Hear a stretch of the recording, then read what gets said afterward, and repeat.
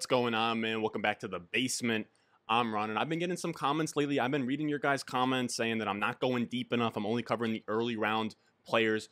Guess what? We're only in the first week of August. We're going to get deeper. We're going to get into those sleepers. We're going to get into the guys I like in the middle rounds. We got plenty of time for me to cover my favorite players. So I figured today, let's go dumpster diving. We're going to be looking at those rookie wide receivers I talked about in last week's video, where I went over wide receivers that are rookies outside the top 100 picks versus sophomore wide receivers outside the top 100 picks. We found that we want to be targeting the rookie wide receivers in that range. We want to be targeting this year's Claypool, Higgins, CeeDee Lamb, Brandon Aiyuk. We want to hit on one of those wide receivers late that could really give us a league winning season.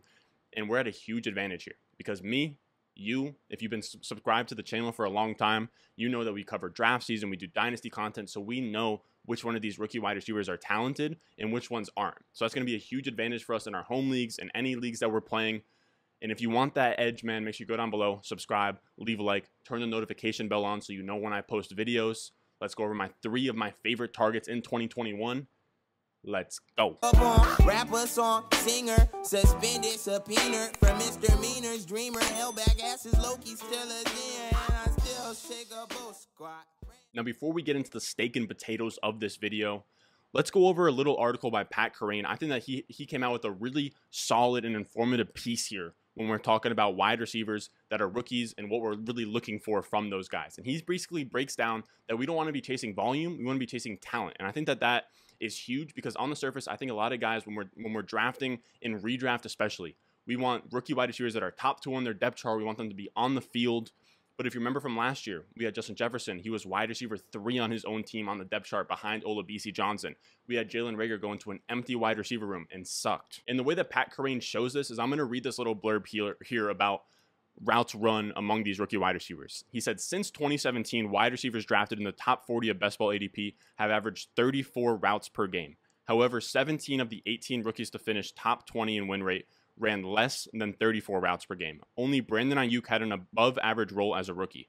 Rookies, even league winning rookies like Justin Jefferson, Terry McLaurin, and Juju Smith Schuster, have not been big volume options over the course of their rookie seasons. Even the high volume Aiyuk only ran 36 routes per game still well below 2020 veteran options with middling results like McLaurin, Smith Schuster, Marvin Jones, and Michael Gallup. It seems clear that even elite rookie wide receiver seasons are not the result of elite volume.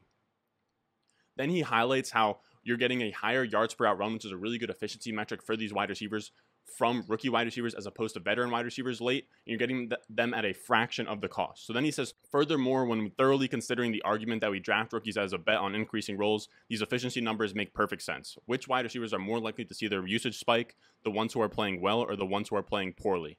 Simply put, projected volume is not our top priority when targeting rookie wide receivers, even to the extent that volume is driving rookie win rates. It is largely because these players are earning more and more volume throughout the season due to stronger than expected play.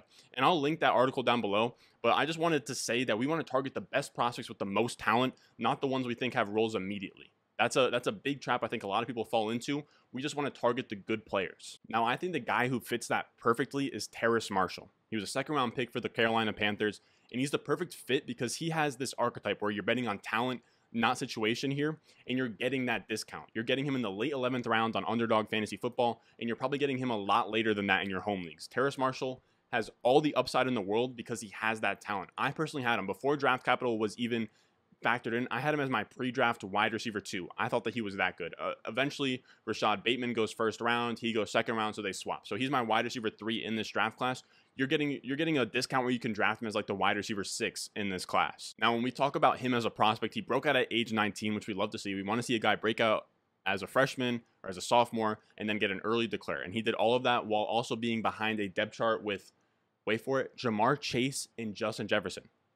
The guy, the guy had all the studs in the world on his depth chart, and he still looked fine. He also tested as a physical freak, 6'2", 205, runs a 4'4", and we want that alpha size because that offers us the most upside. Those big wide receivers, they can score touchdowns, they can command a lot of targets. You know, that alpha type wide receiver. That's what Justin Jefferson is, Claypool, all those guys. He's really good at scoring touchdowns. He scored 13 TDs in 12 games on the same team as Jefferson and Chase.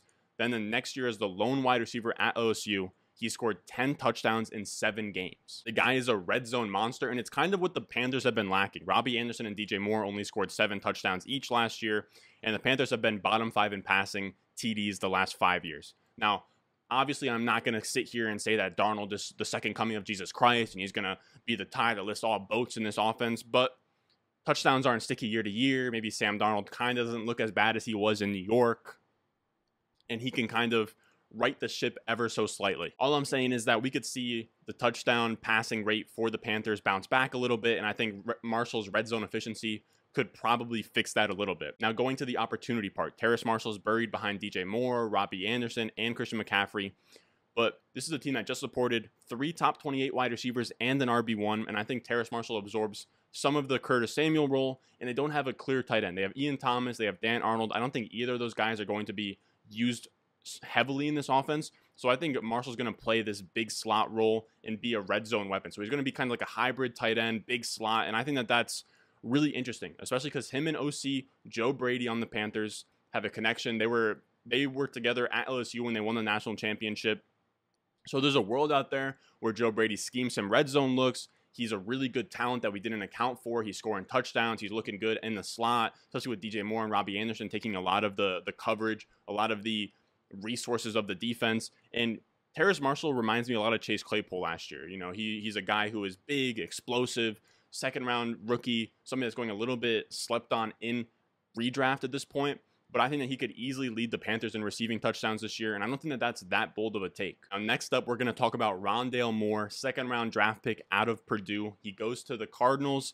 And look, I love Elijah Moore, but Elijah Moore and Rondale Moore are very similar players, very similar tier of prospect, in my opinion and I love Elijah Moore. He just got hurt, so that kind of does hurt Elijah Moore a little bit. But assuming Elijah Moore was healthy, I preferred Rondale Moore at price because you could just get his cheaper twin 25 picks later. And Rondale Moore is really exciting because he has this profile where his only concern is size, but the beauty is, of that is in redraft, you can put him on your bench. And if the size isn't a problem, we'll know right away that he's a stud. He has that kind of prospect profile, especially because in college. He came in there as an 18 year old. He produced on day one. I think Rondale Moore is the kind of guy where if he comes out there, the size isn't an issue. He's so dynamic, he's so explosive, where on day one, he will look like a good wide receiver. In his freshman year at Purdue, he put up 114 catches, 1,258 yards, 12 touchdowns through the air, with 21 carries, 213 rushing yards, and two rushing touchdowns as an 18 year old freshman in the Big Ten at 5'9, 170 pounds, he did that. He's just, it's just a, a, wild stat line at that age, at that size. And I think that he could be that kind of difference maker, anomaly type guy in the NFL. Now, the rest of his stats, if you look at the screen, they're not that pretty, but he only played seven more games after his freshman season because he already had his draft capital cemented. You know, he was already a second round pick. And then on top of that, he had some like precautionary leg injuries. I don't know. They held him out. It, was like a hamstring injury, and then it's like why why play the rest of the season? The COVID thing happened, so that kind of screwed up the rest of his draft profile. But he still goes second round. He's dynamic. And what really sticks out is he's almost a, a, running back. He's like a mini running back. He's 5'7, 181 pounds, and he's just a freak athlete. He runs a 4.37. He also finished in the 94th percentile or better in burst and agility testing. And he has this kind of all purpose skill set that I think really fits well in this Cardinals offense. You know, Kingsbury was brought in to be this guru air raid guy, but I think what people don't understand is that Cliff Kingsbury kind of sucks. Like he isn't that great at play calling, and it's it's more instead of it being like this vertical air raid or whatever, it's more horizontal and shallow. You know, a lot of screens, a lot of checkdowns, a lot of uh, you know, it's just not it's not super creative, but it is a lot of get your guy in space out there, and that's what you want for Rondale Moore. Rondale Moore won't be playing in DeAndre Hopkins' role, but we can see on this reception perception chart that there's a lot of slants, a lot of curls, a lot of screens, a lot of stuff in the in the short areas of the field, and that's why Rondale Moore has like a, a, nine yards per reception in college. He had one of the lowest ADOTs. He, he operates in that range. And this is where Rondale Moore really eats. This is what Matt Harmon said in reception perception for Rondale Moore. He said, What you really want to do with Moore is get him the ball as quickly as possible on those flats, slants, and screens. That's where the fireworks happen. Moore was in space on an absurd 20% of his routes and went down on first contact on just 42.2% of those opportunities. He's like a bowling ball that's been lit on fire in the open field. That dangerous ability is not only a blast to watch, it's a perfect finishing touch to add on an innovative offensive coach's well designed system. Now, I don't think that this is some groundbreaking innovative system like he was saying but i think that he fits he's going to be probably in the either in the slot he's going to be out wide this is also an offense that uses a lot of wide receivers and they run a lot of pass plays Christian Kirk, AJ Green are both there, but I think Rondale Moore, even if he's the wide receiver four on the depth chart, that's not a big deal because one, they rotate wide receivers, and two, they run the most plays out of three and four wide receiver sets in the NFL. Rondale Moore is going to get his opportunity to show what he can do in space from, you know, on week one. They might just scheme him a, a bubble screen and he could take it to the crib. He's going to get his opportunity and he's going to pop. Now, if we want to go even deeper, we're going to talk about Dyami Brown, third round pick out of UNC for the Washington football team, and he's going deep, man. He's going 1503 on underdog as the wide receiver 80, and I imagine he probably goes undrafted in your home leagues. And this is because Brown doesn't have an easy path to targets. You know, he has Cam Sims in his way, he has Adam Humphries in the way. But also, let me, let me say those names one more time. He has Adam Humphries in the way, he has Cam Sims in the way. I mean, that's not an impossible depth chart to rise up. Those guys are are kind of scrubs. I get that they're you know they're like you know Adam Humphries is this like glue slot guy, but let's say in a vacuum where Dyami Brown is a really good player, like a Terry McLaurin level third round pick, shouldn't have gone in the third round. He'll beat out those guys. We got to remember the thesis with these rookie wide receivers, especially as we get later.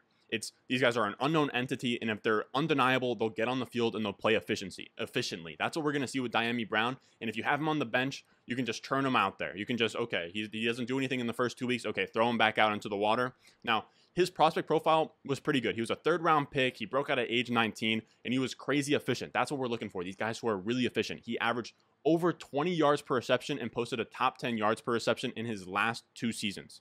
That's a really good skill set to fit with Ryan Fitzpatrick. He's like a baby Will Fuller. He operates at a, at a deep threat. He wins at high rates on, on all vertical routes, on reception perception, on the nine route, on the post route, on the corner. He looks great on all that stuff. And if he can find his way into that flanker role on the outside with Curtis Samuel in the slot, and then you have Terry McLaurin at X, we're looking at a huge value here in the in the 15th round. He could easily get his way into top 36 wide receiver numbers if he if he is as good as as we want him to be. Now, before we wrap up the video, I want to do some honorable mentions. I want to say I love Elijah Moore. I love Rashad Bateman. Both of them, I loved both of them before they got hurt. Now that they got hurt, I think everyone's cooled off of them. But here's the thing: they were both going 25 picks ahead of Terrace Marshall and Rondale Moore. Now, I personally have when I, when we were doing the the pre-draft rankings, I had Devonta Smith, Jaylen Waddle, Terrace Marshall, Rondale Moore, and Elijah Moore all in the same tier. I had Rashad Bateman a tier ahead of all of them, and I was scooping up a lot of Rashad Bateman before he got hurt. But we got to trust the research we did in the winter and the spring. Why pay for Devonta Smith, Elijah Moore, Jaylen Waddle in the top 100 picks when Terrace Marshall and Rondale Moore can be had rounds later? And again, I don't mind Elijah Moore, but at cost, I'm just more overweight on the wide receivers mentioned in this video. And I saw Danny from Stock Exchange, from the Fantasy Stock Exchange, show you guys that he's about that action, that he has, you know, all of his money in these players. And I want to show you guys that I'm also invested in the players that I mentioned because I'm not going to go out here and give you guys fugazi analysis. As you can see, Terrace Marshall's my most owned wide receiver on, on underdog, followed by Dyami Brown and then Rondale Moore. All of them are up there through 200 plus drafts. And now, if you want to take advantage of the ADP difference on these rookie wide receivers, hop on underdog and draft with me. Make sure you go down there, deposit $10 when you sign up. Use promo code RON. You get $25 for free. You can hop on there, draft these rookie wide receivers, get ready for your home league drafts. I'm telling you, there's really sharp ADP here. And when you get into these drafts, they're much better than mock drafts because there's real money on the line. Now, with that being said, now with that being said, that is the video. And if you enjoyed, make sure you go down below, leave a like, subscribe, and let me know who your favorite rookie values are. You know, I might do a video about this on running backs. I don't know, maybe quarterbacks. Let me know what you think. As always, follow me at Ron Stewart underscore on Twitter. I'm going to be working on a video right now where I go over the running back dead zone. I'm really excited to get that video out, but I'm excited to do some really, really cool videos here in the upcoming days to weeks. So stay tuned. And as always, I'll see you guys in the next one. Shout out my mucus. Hey, Can you know that be my slime? Shout out my mucus. That nigga, that be my slime. That nigga, that be my slime. Slime, slime, slime, slime. Alright. What? What? Hey, hey, okay. Naruto, nine tail, fox, I